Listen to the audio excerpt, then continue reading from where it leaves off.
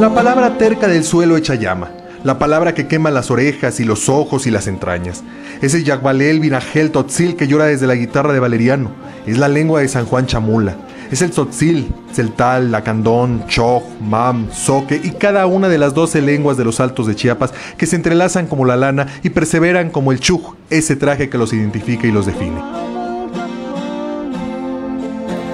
En el centro de todo, el español trasciende, aunque prácticamente todo el tiempo hablen en su lengua. El español en San Juan Chamula lo hablan desde pequeños que cuentan orgullosos las raíces de su iglesia, pasando por jóvenes y adultos para dirigirse al turista que los visita. Y así hablan los muros, no en Tzotzil ni en Tzetzal. Vemos aquí en el pueblo que hay muchos letreros en español, ¿no?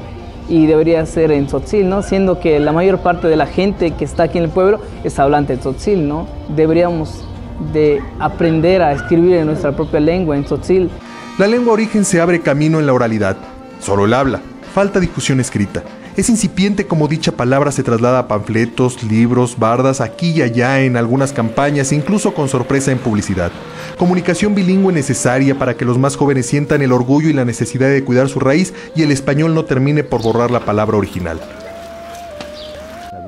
Daniel Ochoa es jefe del Departamento de Lenguas y Tradiciones en San Cristóbal de las Casas y está consciente de las carencias y los fallos, pero afirma que algo está cambiando.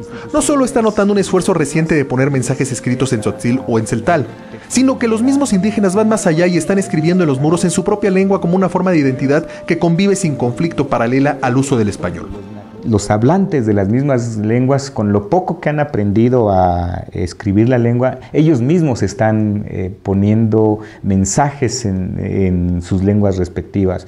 Ah, si nosotros vamos a Chenaló, vamos a encontrar una serie de mensajes escritos en tzotzil, defendiendo su lengua y enseñando su lengua. No es cosa menor. Los mensajes en su lengua aseguran la comprensión. La experiencia del investigador muestra que leer en español no asegura que el indígena entienda el mensaje, al contrario que cuando lo hacen en su lengua. El llanto de la guitarra de Valeriano no anuncia tristeza, quizá nostalgia. Nostalgia de la palabra que ha trascendido en la oralidad, de la palabra escrita que se mantiene enraizada como el chactontic de esa piedra terca que cuenta la tradición, movió el mismísimo San Juan Bautista para edificar la iglesia aquí en Chamula piedra terca, palabra terca que quema las orejas y los ojos y las entrañas, y también, poco a poco, los muros.